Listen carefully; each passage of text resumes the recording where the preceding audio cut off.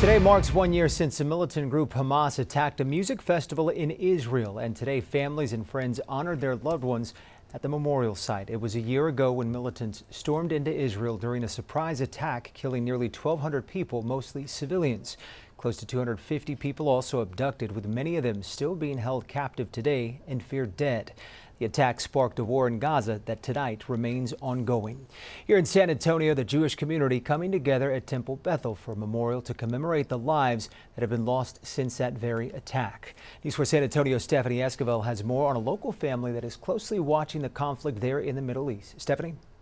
Well, Jonathan, the Jewish Federation of San Antonio tells me this year has been nothing short of difficult. The memorial ceremony at Temple Beth El will start in just minutes. This is a live look right now, and many people there have friends and family in Israel, including the Baryadin family. Last year, I was the first to tell you about Zev Baryadin, who was born and raised in San Antonio, and following that attack on October 7th, Zev took the first flight to Israel to fight for the Israel Defense Forces as a lone soldier. Tonight, Zev Baryadin is back in San Antonio, safe and sound with his family. I spoke to Zev's father, Ruben, who tells me Zev stayed in Israel fighting with his troop for a few months until he felt it was time to return home to the Alamo City.